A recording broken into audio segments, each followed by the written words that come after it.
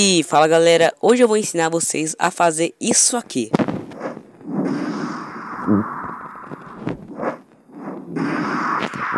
Tem até cutscene.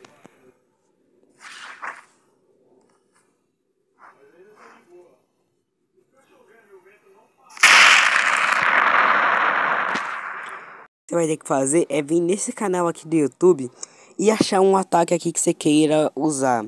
Você tem que vir nesse canal e procurar um ataque que você queira usar. No caso aqui eu vou querer usar o do Gojo, então deixa eu ver se é bonito primeiramente.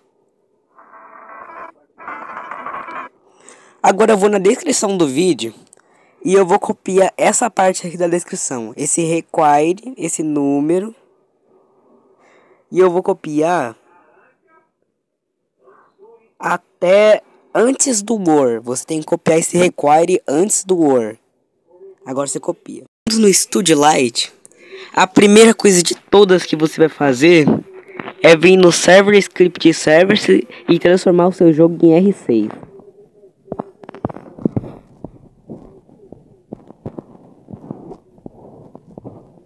Para transformar teu jogo em R6 é bem simples. Você vai no Server Script Service, cria um script e procura R6 Script.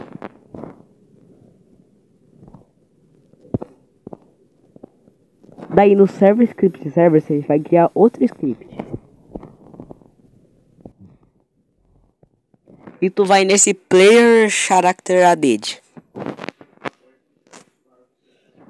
Daí você seleciona isso aqui que eu selecionei. Depois de você ter apagado, você cola. Mas não tá pronto ainda. Você tem que escrever isso aqui agora. Você apaga esse user que tá entre aspas. E escreve player.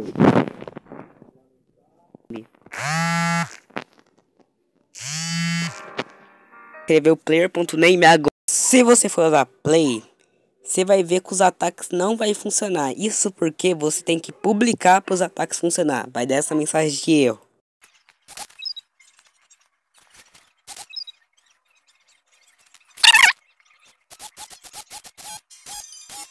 Agora ao entrar tu já vai estar com os ataques na sua mochila.